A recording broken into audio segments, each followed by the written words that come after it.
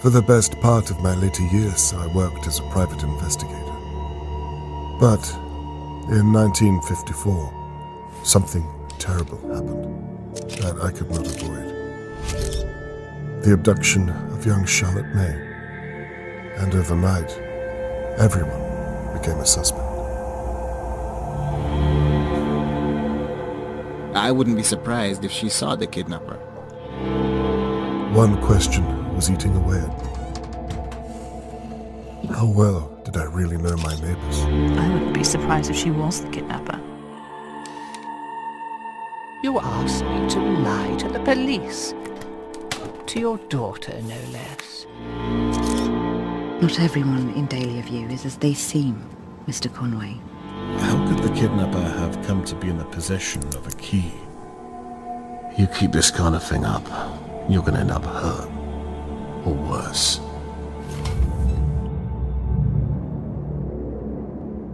Where is my daughter, Mr. Conway? I could feel it again. That drive. That first pull of the yarn. She'd been missing for days. The police were getting nowhere. Someone needed to do what had to be done.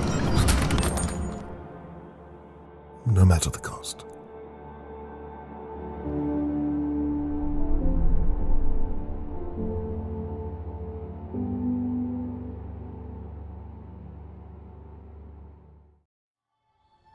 Robert Conway, 22nd of June, 1954.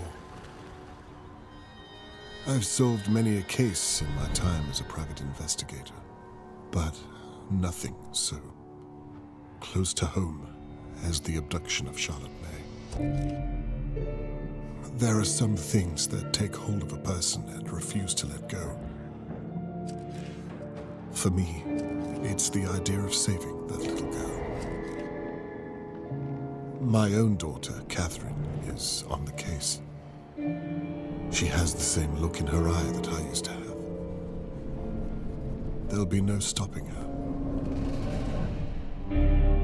I wish I could say that all of my neighbors are innocent. I wish I could say that I have the faintest clue where to begin.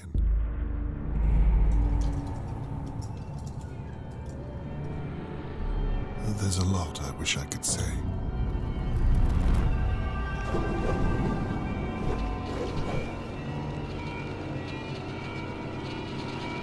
The truth is, sometimes it takes a nightmare to wake a place like Dahlia View.